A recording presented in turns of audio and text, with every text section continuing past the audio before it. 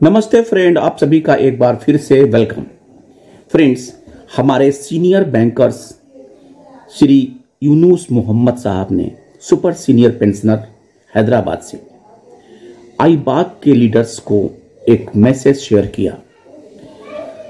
उसको मैं आपके साथ शेयर करता हूँ। Dear comrades Sai Prasad, Rupam Rai and Deepak Sharma Vasant Panchami greetings and the warmest wishes from an octogenarian former trade unionist.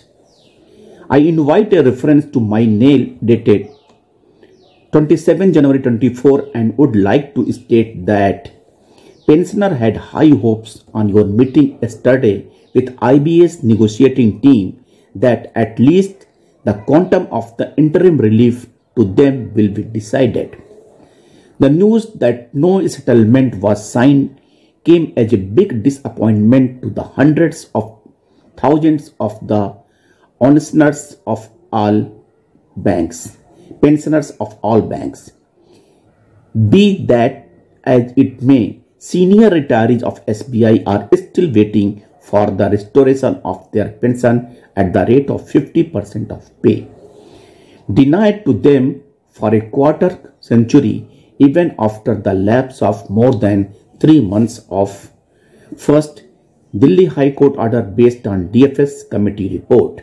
Second, consent of Reserve Bank of India.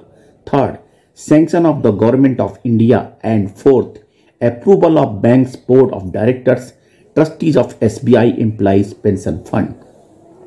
The only formality pending is Gazette notification, which normally does not take so much time.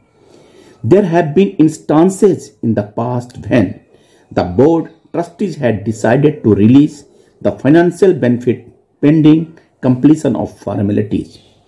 With a view to mitigating the hardship being faced by the beneficiaries, I would like to you, comrades, to take a joint delegation of principal office bearers of AIS BOF, AIS BISF to the Chairman State Bank of India and request him to release the revised pension immediately without waiting for the Gazette notification.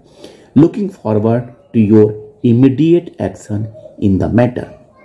और in the mean time हमारे जो comrade Umesh Sharma ji हैं जो S group of pensioner की तरफ़ से इस case के बारे में जानकारी रखते हैं उन्होंने भी एक मैसेज शेयर किया था The restoration of 50% wide delay?